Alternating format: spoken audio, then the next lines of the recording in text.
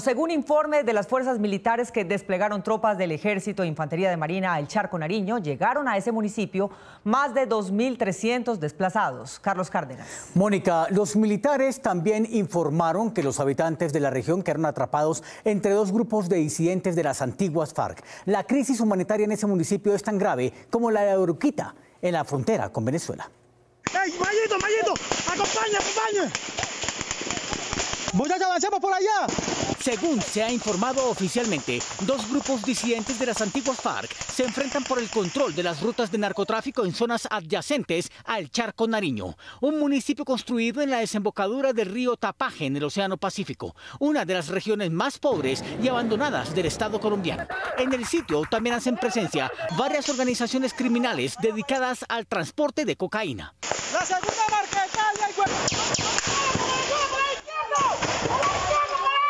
el comando de las fuerzas militares desplegó tropas del ejército y de infantería de marina con acompañamiento de inteligencia de la Fuerza Aérea hasta las veredas en donde se libraron los combates entre una organización instalada allí hace varios años y otra banda que llegó desde el sur del departamento del Cauca, aparentemente para disputarle a la primera el control de los ríos por donde sale la cocaína hacia mar abierto. ¡Eh, vamos vamos muchachos, vamos Nacho frente, Nacho frente! ¡Cobra uno, cobra uno!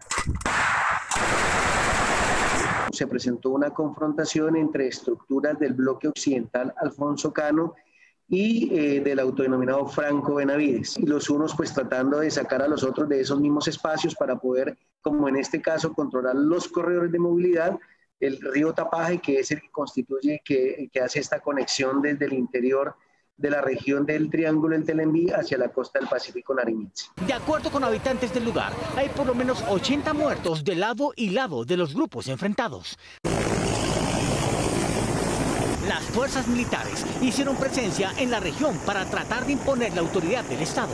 Con esa misión, unidades especiales de la Fuerza de Despegue Rápido número 2 fueron ubicadas en las rutas de acceso a las áreas donde se presentaron los combates y de este modo poder garantizar el retorno de las familias que se habían desplazado huyendo del fuego cruzado. Al casco urbano del Charco llegaron 102 campesinos. Tenemos una situación de confinamiento en las veredas Santa Catalina, las Mercedes, Matepal, que vendrían siendo unas 130 eh, personas aproximadamente, y un desplazamiento interno dentro de esas veredas, aproximadamente unas 765 personas. Estamos hablando de una afectación de unas 916 eh, familias, lo que equivaldría a unas 2.355 personas. Al menos otras 2.000 personas habrían sido utilizadas por las organizaciones criminales para camuflarse entre ellas y evitar así que sus miembros sean capturados. Se entremezclan con la población civil, se colocan ropa de civil y pues para nosotros en, en esos eventos es difícil identificarlos